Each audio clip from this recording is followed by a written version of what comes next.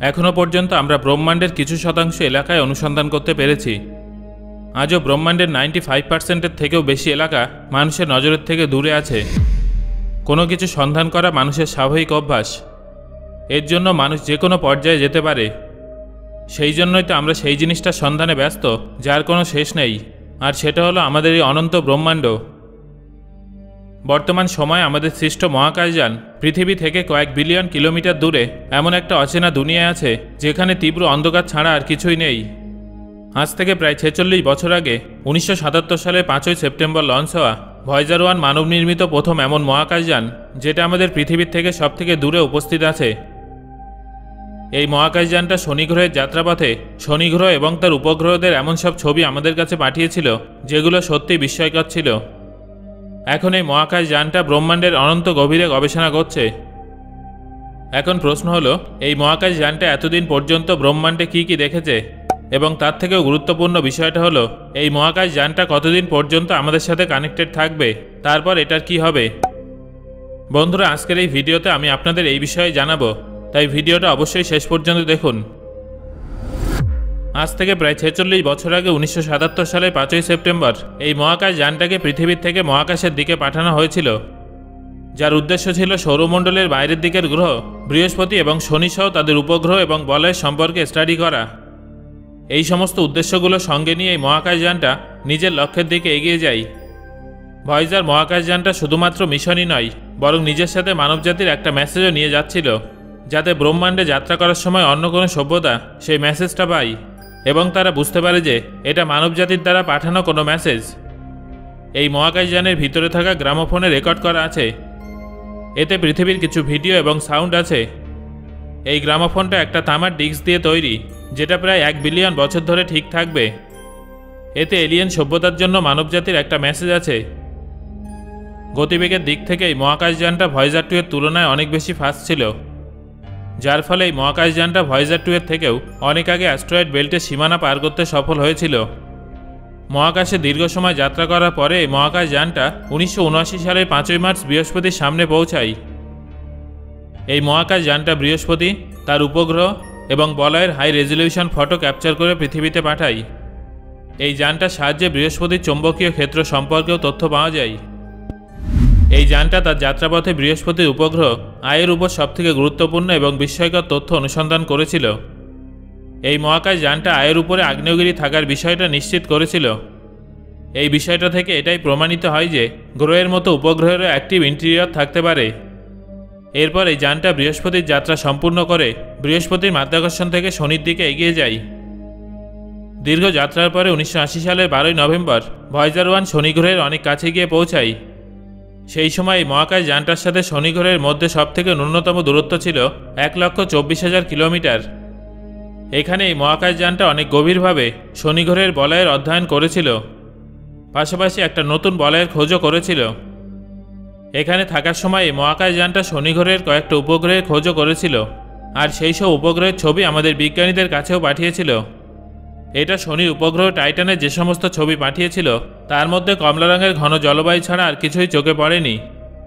যার ফলে কয়েক বছর পর্যন্ত এই উপগ্রহের পৃষ্ঠতল সম্পর্কে অনেক অনুমান করা হয়েছিল। শনি গ্রহকে ফ্লাইবাই করার পর ভয়েজার ওয়ান মহাকাশযানটা সৌরমণ্ডলের বাইরে সুদূর মহাকাশের গভীরে যাত্রা শুরু করেছিল। এই মহাকাশযানটা জানতও না যে পরবর্তী সময় তার সাথে কি কি হতে চলেছে।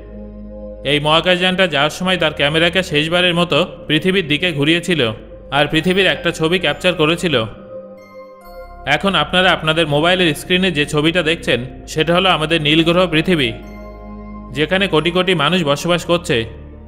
এই বিষয়টা থেকে আপনারা নিশ্চয় অনুমান করতে পারছেন যে আমরা এই অনন্ত ব্রহ্মাণ্ডে কতটা বড় এবং আমাদের অস্তিত্ব কতটুকু। সেই সময় মনে হয়েছিল যে ভয়েজার ওয়ান পৃথিবীর দিকে তাকিয়ে শেষবারের মতো আমাদের টাটা বাই বাই বলার চেষ্টা করছে। এই ছবিটা উনিশশো নব্বই সালের চোদ্দোই ফেব্রুয়ারি তোলা হয়েছিল। ভয়েজার ওয়ান মহাকাশযানটা দু হাজার বারো সালে আমাদের সৌরমণ্ডলের বাউন্ডারি, অর্থাৎ হেলিওস্পিয়ার অতিক্রম করে ইন্টারস্টেলার স্পেসে প্রবেশ করেছিল। এটা ইন্টারস্টেলার স্পেসে প্রবেশকারী প্রথম মহাকাশযান ছিল। অন্যদিকে যমসাথী ভয়েজার টু ইন্টারস্টেলার স্পেসে প্রবেশ করতে আরও ছ বছর সময় লেগেছিল। এটা দু হাজার আঠেরো সালের নভেম্বরে ইন্টারস্টেলার স্পেসে প্রবেশ করেছিল। বন্ধুরা, এবার জেনে নিন যে এই ইন্টারস্টেলার স্পেস আসলে কি। চলুন এই বিষয়ে আপনাদের একটু সহজে বুঝিয়ে দেওয়া যাক। সূর্যের থেকে বাইরের দিকে বয়ে যাওয়া বাতাসের কারণে সৌরমণ্ডলের চারিদিকে একটা বুদবুদের মতো আবরণ তৈরি হয়েছে এবং এই সীমানার থেকে বাইরের মহাকাশকে ইন্টারস্টেলার মিডিয়াম বলা হয়, যেখানে সূর্যের মাধ্যাকর্ষণের প্রভাব শেষ হয়ে যায়। অর্থাৎ এখানে এক ধরনের বড় বাবেল তৈরি হয়। যা চারিদিক থেকে আমাদের সৌরমণ্ডলকে ঘিরে রেখেছে। আর এই বাবেল আমাদের সৌরমণ্ডলকে ক্ষতিকারক বিকিরণের হাত থেকে রক্ষা করে। এই ইন্টারস্টেলার স্পেস থেকে এমন অনেক তথ্য পাঠানো হয়েছে, যেগুলো আমাদের ধারণা থেকে একেবারে আলাদা ছিল। এমনকি ইন্টারস্টেলার স্পেস থেকে এমন একটা সাউন্ড রেকর্ড করা হয়েছিল, যেটা শুনতে ভীষণ ভয়ানক ছিল। এবার শুনে নিন সে আওয়াজটা।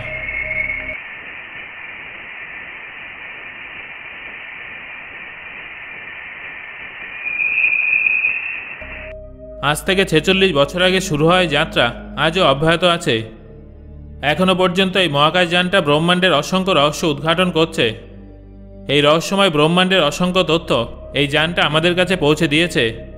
কিন্তু বর্তমানে এই মহাকাশ যানটার কাজ করার সামর্থ্য অনেক কমে গেছে। মানুষের ইতিহাসে এমন হাতে গোনা কয়েকটা মেশিন আছে, যেগুলোর মাধ্যমে এত বিষয় অনুসন্ধান করা সম্ভব হয়েছে। ভয়েজার পৃথিবীর প্রথম এমন স্পেস মিশন ছিল, যার কন্ট্রোল কম্পিউটারের হাতে ছিল।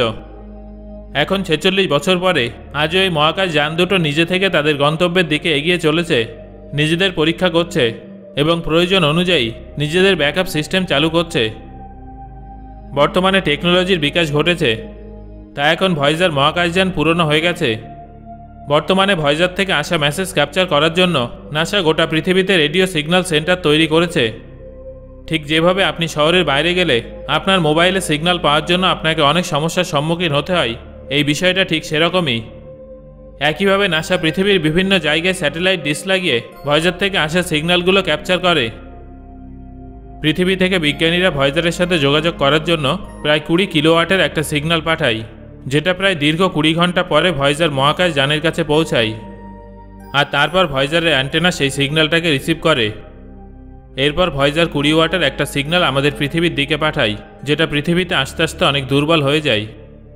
আর যতক্ষণ এই সিগন্যাল আমাদের পৃথিবীতে এসে পৌঁছায়, তখন সেটা শনাক্ত করা ভীষণ চ্যালেঞ্জিং হয়ে দাঁড়ায়। কারণ সিগন্যালের ফ্রিকোয়েন্সি অনেক দুর্বল হয়ে যায়। নাসা এই দুর্বল সিগন্যালটাকে রিসিভ করার জন্য ডিপ স্পেস নেটওয়ার্ক ব্যবহার করে থাকে, যার মাধ্যমে বিজ্ঞানীরা ভয়েজারের সাথে যোগাযোগ বজায় রেখেছেন। এই মিশনটা শুরু থেকে এর সাথে জুড়ে থাকা বিজ্ঞানীদের মতে, এখন ভয়েজার ব্রহ্মাণ্ডের এত দূরে আছে, যেখানে শূন্য অন্ধকার এবং ঠান্ডা পরিবেশ ছাড়া আর কিছুই নেই। আমাদের অনেক সাবধানতার সাথে মিশনটাকে টিকিয়ে রাখতে হবে।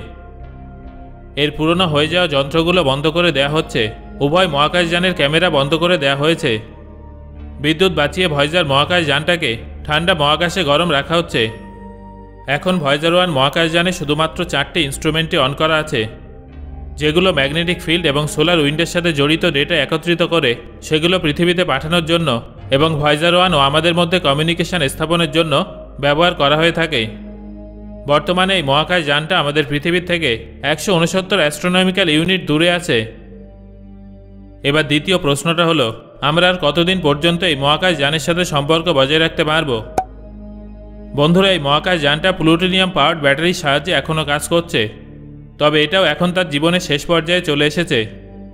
সময়ের সাথে সাথে এই মহাকাশ যানটা পৃথিবীর থেকে যত দূরে সরে যাচ্ছে, তত বেশি করে আমাদের ভয়েজার মহাকাশ যানের সাথে সম্পর্ক স্থাপন করার সময়ও বেড়ে যাচ্ছে। বেশ কিছু বিজ্ঞানীদের মতে, আগামী দু হাজার পঁচিশ সাল নাগাদ ভয়েজারের ব্যাটারি পাওয়ার সাপ্লাই বন্ধ করে দেবে, যার ফলে এর মধ্যে থাকা ইনস্ট্রুমেন্ট কাজ করা বন্ধ করে দেবে। আর এর ফলে আমাদের সাথে ভয়েজারের সম্পর্ক চিরজীবনের মতো বিচ্ছিন্ন হয়ে যাবে। সম্পর্ক বিচ্ছিন্ন হয়ে যাওয়ার পরেও এই মহাকাশযানটা রহস্যময় ব্রহ্মাণ্ডের মধ্যে নিজের সফর চালিয়ে যাবে। তখন আমরা আর ভয়েজারের সাথে যোগাযোগ করতে পারব না, আর ভয়েজারও আমাদের সাথে যোগাযোগ করতে পারবে না। তবে সত্যি যেদিন ভয়েজারের সাথে আমাদের যোগাযোগ বিচ্ছিন্ন হয়ে যাবে, সেই মুহূর্তটা আমাদের কাছে কোনো বড় আঘাতের থেকে কম কিছু হবে না। সো বন্ধুরা, আপনাদের কি মনে হয় দু হাজার পঁচিশ সালে আমাদের সাথে কি ভয়েজারের যোগাযোগ বিচ্ছিন্ন হবে? আপনার মতামত অবশ্যই আমাকে কমেন্ট করে জানাবেন।